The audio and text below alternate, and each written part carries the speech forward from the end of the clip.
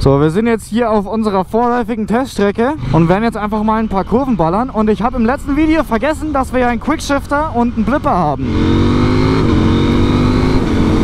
Die astrein funktionieren, Freunde. Also ohne Scheiß. Der Blipper und der Quickshifter funktionieren perfekt, so wie sie sollen. Wir sind die Strecke hier schon einmal Probe gefahren. Die Strecke ist sauber, es ist nichts los. Und ich muss sagen, das Bike ist sehr stabil. Wobei ich mir hier GP Shift wünschen würde, muss ich ehrlich sagen. Heißt umgekehrte Schaltung.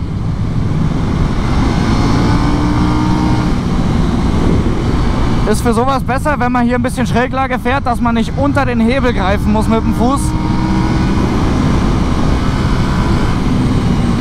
Da war eine Bodenwelle, die hat mich kurz erschrocken. Aber sie lässt sich sehr stabil, sehr zielgerichtet durch die Kurven fahren. Also das kann ich mit vollster Überzeugung sagen. Da, wo man hinfahren will, da fährt man auch hin mit dem Ding hier. Also man muss halt nur da hinschauen, wo man hinfahren will. Das ist ganz klar. Aber das wissen wir ja alles, denn wir sind ja alle Motorradfahrer. So, und wir fahren das Ganze nochmal retour, weil es so schön war. Dieser Quickshifter. Also, was der für Fehlzündungen raushaut, was der für, was diese Zündunterbrecher für Explosionen zur Folge haben.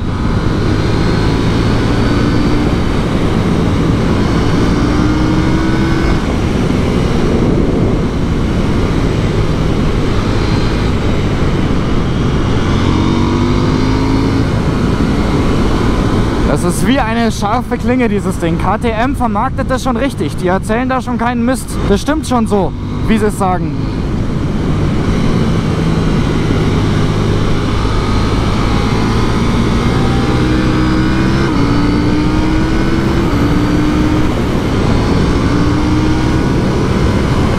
Ich bin gerade ein bisschen überwältigt, Freunde. Es tut mir leid, deswegen sage ich gerade nicht so wahnsinnig viel. Aber das Ding ist sowas von stabil. Da kann meine MT-07 nur von träumen. Das sage ich euch ehrlich, von dieser Stabilität, die dieses Teil hier an den Tag legt. Und wir fahren jetzt nochmal auf halbe Strecke zurück, denn wir müssen ja auch noch Sound machen.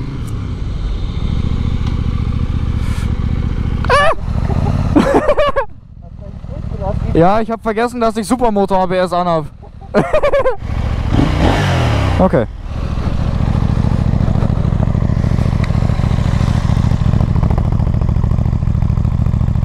Oh, da ist sogar schon ein bisschen schwarz. Geil. Okay, schauen wir mal, was das Ding so schmeißt. Alter, das Mikro macht es nicht mit. Alter. Alter, dröhnt es in den Ohren.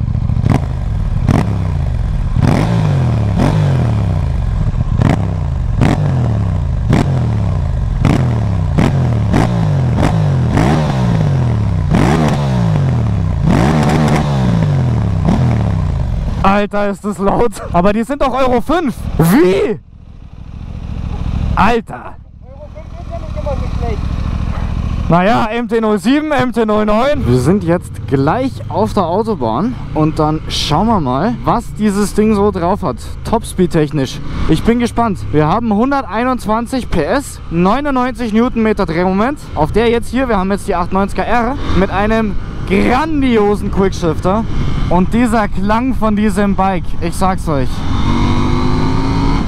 KTM macht, was Klänge von den Motorrädern betrifft, absolut keine Faxen. KTM hat das sowas von drauf. Also vom Klang her sind die KTMs absolute Granaten, muss ich euch ehrlich sagen. Und diese 99 Newtonmeter Drehmoment, die schieben an, auch im fünften Gang noch. Im fünften bei 5000 Umdrehungen jetzt ungefähr. Ey, das ist abartig. Also, wie KTM das geschafft hat, ist mir ein Rätsel. Dieses Ding ist so rasiermesserscharf. Skalpell, wirklich. Was anderes kann man nicht sagen. Skalpell. So haben sie die 97er schon vorgestellt. Die 98er ist keinen Deut schlechter. Ganz im Gegenteil. Dieses Ding ist sowas von präzise.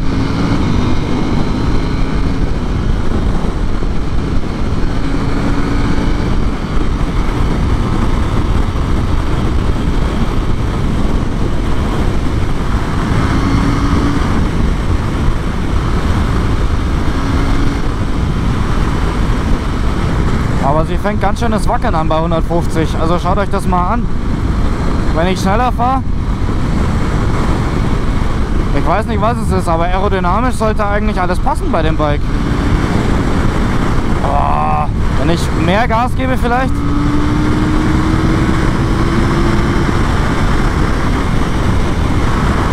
Nee. Also das taugt mir mal überhaupt nicht. Schaut euch das mal an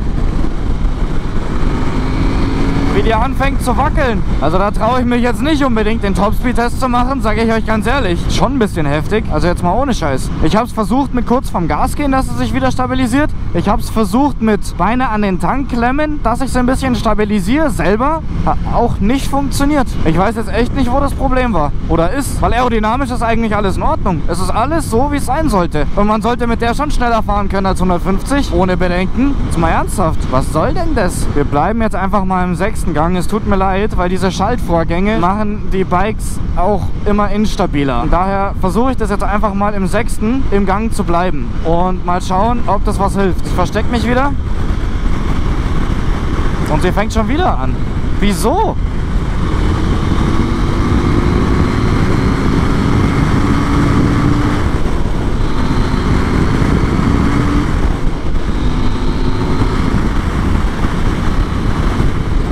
Also das ist mir wirklich zu krass hier. Was soll denn das? Was ist denn das für ein Müll? Da stört mich auch jetzt ehrlich gesagt gar nicht, dass die ganze Zeit Leute vor uns sind. Weil, wie soll ich so einen Topspeed-Test machen? Also ich meine, ich kann damit ehrlich gesagt nichts anfangen gerade. Das kann ich nicht nachvollziehen. Das kann ich wirklich nicht nachvollziehen. Woran liegt's denn? Bin ich selber so wenig aerodynamisch oder wie sieht das aus? Aber wenigstens klingen die Fehlzündungen brutal.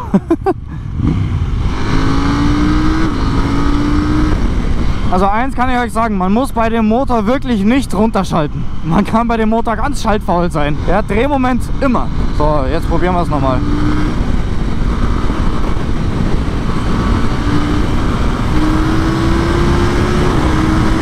Oh Mann, wieso wackelt das Ding so?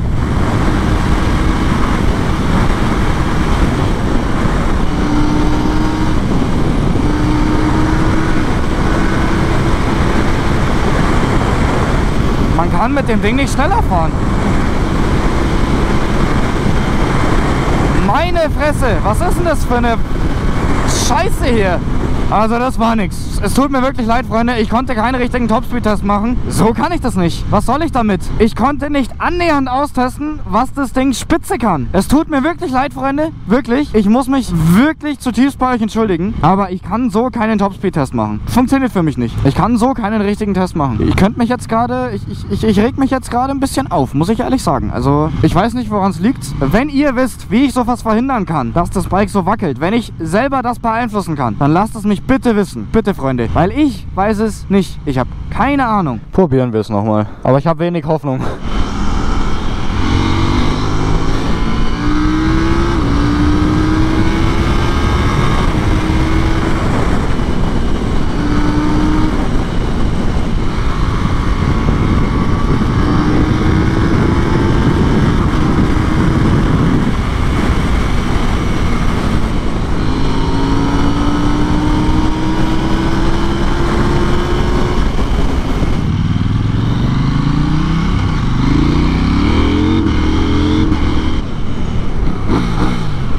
Alter, ist dieses Ding laut. das ist unvorstellbar.